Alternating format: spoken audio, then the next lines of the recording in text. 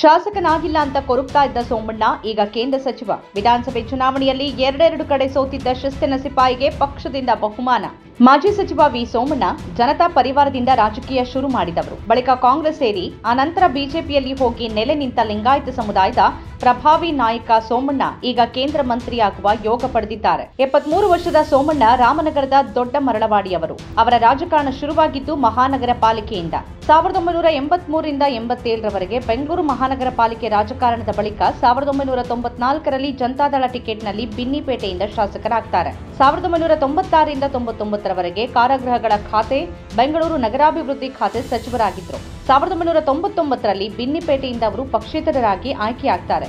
ಎರಡ್ ಸಾವಿರದ ನಾಲ್ಕರಲ್ಲಿ ಮೂರನೇ ಬಾರಿಗೆ ಕಾಂಗ್ರೆಸ್ ಟಿಕೆಟ್ನಲ್ಲೂ ಆಯ್ಕೆಯಾಗ್ತಾರೆ. ಎರಡ್ ಸಾವಿರದ ಎಂಟರಲ್ಲಿ ಕಾಂಗ್ರೆಸ್ ಟಿಕೆಟ್ನಲ್ಲಿ ಗೋವಿಂದರಾಜ್ ನಗರದಿಂದ ಆಯ್ಕೆಯಾಗ್ತಾರೆ. ಎರಡ್ ಸಾವಿರದ ಹತ್ತರಿಂದ ಎರಡ್ ಸಾವಿರದ ಹದಿನೆಂಟರವರೆಗೆ ಕರ್ನಾಟಕ ವಿಧಾನ ಪರಿಷತ್ತಿನ ಸದಸ್ಯರು ಆಗ್ತಾರೆ. ಎರಡ್ ಸಾವಿರದ ಹದಿನೆಂಟರಲ್ಲಿ ಬಿಜೆಪಿ ಸೇರ್ಪಡೆಯಾದ ಸೋಮಣ್ಣ ಬಿಜೆಪಿ ಟಿಕೆಟ್ನಲ್ಲಿ ಎರಡನೇ ಬಾರಿಗೆ ಆಯ್ಕೆಯಾದ್ರು. ಎರಡ್ ಸಾವಿರದ ಹತ್ತೊಂಬತ್ತರಿಂದ ಎರಡ್ ಸಾವಿರದ ಇಪ್ಪತ್ತರವರೆಗೆ ತೋಟಗಾರಿಕೆ ಮತ್ತು ರೇಷ್ಮೆ ಕೃಷಿ ಸಚಿವರಾಗಿದ್ದರು ಬಳಿಕ ಎರಡ್ ಸಾವಿರದ ಇಪ್ಪತ್ತೊಂದರಿಂದ ಎರಡ್ ಸಾವಿರದ ಇಪ್ಪತ್ತ್ ಮೂರರವರೆಗೆ ವಸತಿ ಖಾತೆ ಮತ್ತು ಮೂಲಸೌಕರ್ಯ ಮತ್ತು ಅಭಿವೃದ್ಧಿ ಖಾತೆ ಸಚಿವರಾದರು.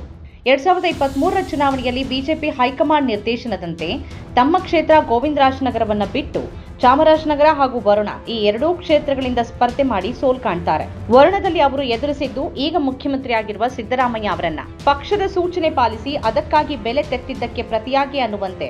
ಈ ಬಾರಿಯ ಲೋಕಸಭೆ ಚುನಾವಣೆಯಲ್ಲಿ ಅವರಿಗೆ ತುಮಕೂರಿನಿಂದ ಟಿಕೆಟ್ ನೀಡಿ ಕಣಕ್ಕಿಳಿಸಲಾಗಿತ್ತು. ವಿಧಾನಸಭೆ ಚುನಾವಣೆಯಲ್ಲಿ ಸೋತ ಬಳಿಕ ಒಂದು ವರ್ಷದಿಂದ ತಟಸ್ಥರಾಗಿದ್ದ ಸೋಮಣ್ಣ ಲೋಕಸಭೆ ಚುನಾವಣೆಯಲ್ಲೂ ಕ್ಷೇತ್ರಕ್ಕೆ ಹೊರಗಿನವರಾಗಿದ್ದರು ಆರಂಭದಲ್ಲಿ ಬಿಜೆಪಿ ನಾಯಕರ ಅಸಮಾಧಾನವನ್ನೇ ಎದುರಿಸಬೇಕಾಯಿತು. ಆದರೆ ತುಮಕೂರಿನ ಜನತೆ ಅವರನ್ನ ಒಂದೂವರೆ ಲಕ್ಷಕ್ಕಿಂತ ಹೆಚ್ಚು ಮತಗಳ ಅಂತರದಿಂದ ಭರ್ಜರಿಯಾಗಿ ಗೆಲ್ಲಿಸಿದ್ದಾರೆ.